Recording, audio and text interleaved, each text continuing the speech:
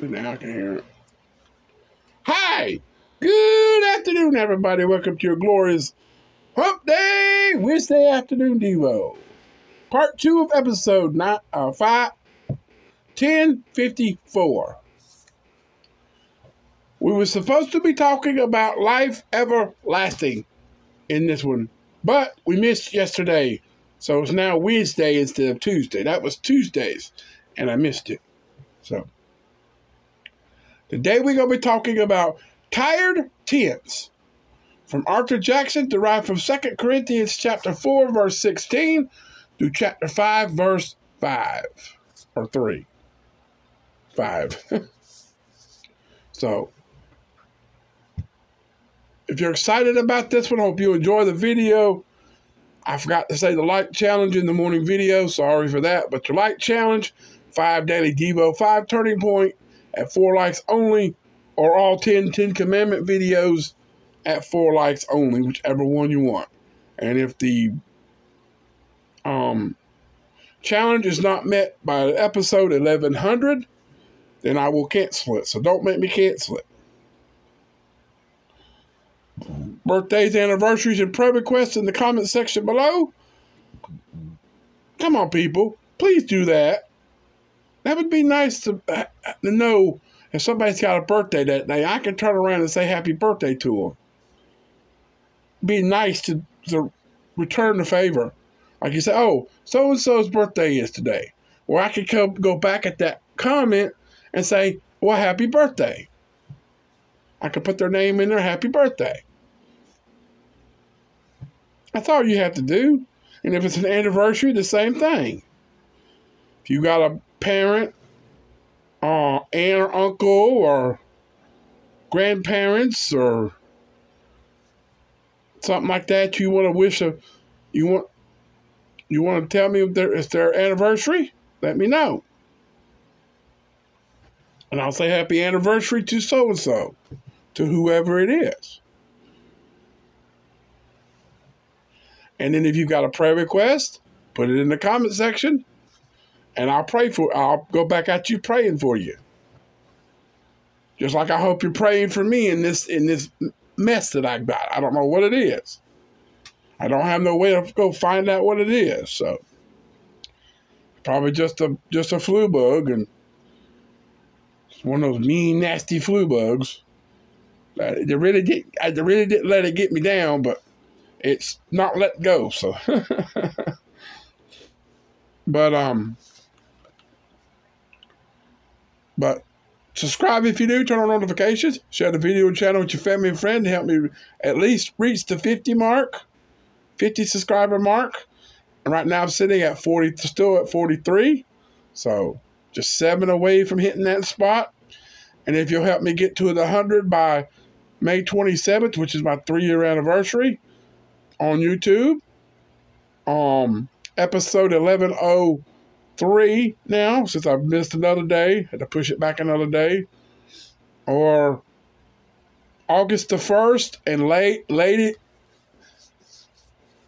August the 1st, or as late as August the 15th to get it to 100. So if you do that for me, I would greatly appreciate each and every one more than you ever imagined.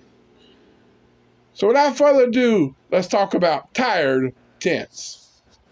Arthur writes, The tent is tired.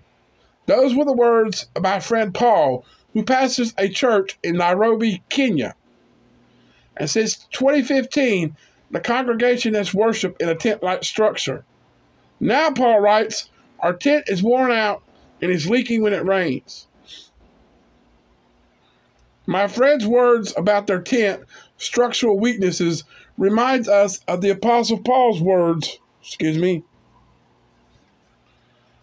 regarding the frailty of our human existence. Hourly we are wasting away. While we are in this tent, we groan and are burdened. 2 Corinthians 4.16 and in 5 4, 5 4. Chapter 5, verse 4 is where it says, in the tent and groan and burden. So, though the awareness of our fragile human existence happens relatively early in life, we become more conscious of it as we age. It indeed time in indeed time picks our pockets. The vitality of youth surrenders reluctantly to the reality of aging. See Ecclesiastes chapter 12, verses 1 through 7. Our bodies are tents, get tired. So our bodies are considered a tent to our, our, our soul. And our, our bodies are getting tired. As we age, the, the tent becomes more frail. Before long, it'll, it'll rip. So we need to, we need to we need to learn how to get it to repair it. To keep it from getting frail. But tired tents need not equate to tired trust. Hope and heart needn't fade as we age. Therefore, we do not lose heart, the apostle says, 2 Corinthians 4.16.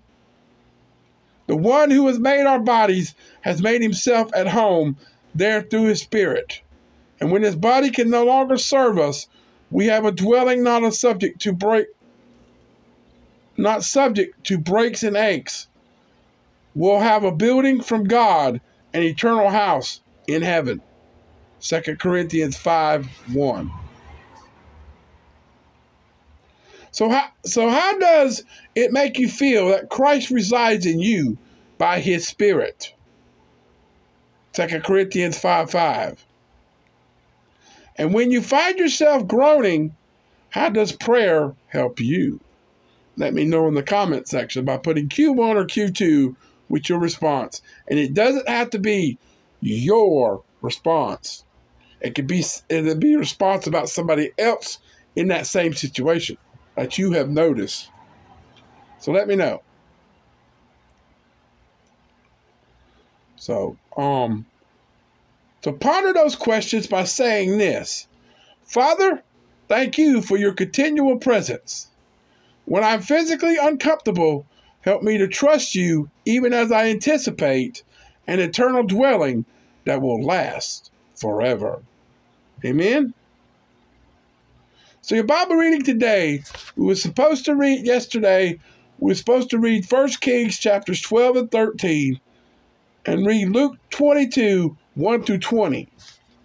But we missed that yesterday, so now we move on to 1 Kings chapters 14 and 15 and Luke 22, 21 through 46. If you feel like going back and catching up from yet for just that one day, then feel free to do that. Or if you've already done it ahead of time, then that, that's good. If you're following along with this one. Coming up tomorrow in your uh, Star Wars, blessed, thankful Star Wars Thursday. May the 4th be with you. We're going to be looking at part two of episode three, or 1055. And we're going to be operating with prayer. Jennifer Benson derived from Second Chronicles 20, 1 through 12. So stay tuned for that. I'll get that. I'll get that later tonight, but you'll see that tomorrow for your Star Wars day Thursday. so, with that said, I love you. I appreciate you. Thanks for watching. Hope you enjoyed it. Keep on keeping on and trusting God. They'll keep you safe and all you say and do it. 2023 and beyond. And until later, peace out, everybody. So long, farewell. Come back later after 7. And we'll be talking about we missed the one from yesterday. We are supposed to be talking about what's missing in the word church. CH Blake Blake CH. And we were supposed to say, and that was the one that had the two um, footnotes in it. Oh darn. I could I could have done it. I could have done it if I had remembered. I could have come out here eight, nine o'clock, record it, and turn around and post it to get it out, but I didn't. Didn't think about it. Should have done it. But then I got hooked on watching the this new uh, video game come out was called it's called uh, Star Wars Jedi Survivor, and it's a continuation of the Fallen Order one they had out a few years ago. but I've got it hooked into that. It's like watching a movie somewhat, and the person I'm watching it from that's played this game, he's got it broke up in several videos, and it's hard to. And you get in, into a certain part, and the video it stops. You have to wait for the next one to finish that little bit up. And I'm I'm on a part where he just he's going to see his old uh, mentor, the one that saved him in Fallen Order at the beginning. He's going. They parted ways between the two for some reason, and he's going to see her to see if she can help. She can help out get to this this new world that's that's hard to get to. It's on the other side of an abyss. They have to figure out how to get to it to be in a place where they nobody else could get to.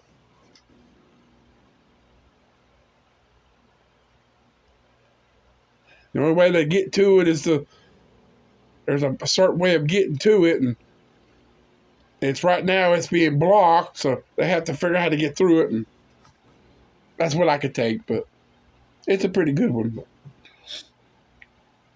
But that yesterday we were supposed to find out what's missing in the word church? You are. That's that's the way they've got it. But today we're gonna be but at seven we're gonna be talking about by all means for episode five uh 30, I think. I think that's the next one I'm on. I think that's the next number. So. But by all means, First Corinthians 922 is our beginning passage, but we'll be reading it in the recommended reading, chapter 9, verse 19 to 23. So, and then our turning point is from Tony Reinke, Reinke, R E I N K E, and we have a footnote at the end of the first section. And then our Bible reading is First Chronicles 13 through 16, 13, 14, 15, so four chapters must be some shorter chapters. So, but stay tuned for that. I'll get that just a few minutes, but you'll see that later after seven. So, with that said, God bless everyone. God bless America in 2023, and I'll see you later. so, until later, me and Baby Yoda, we out till then. So have a great rest of your hump day, Wednesday afternoon, and we'll see you later after seven. So what it's going to be, hope to see you there. Come back and find out. So till then, goodbye.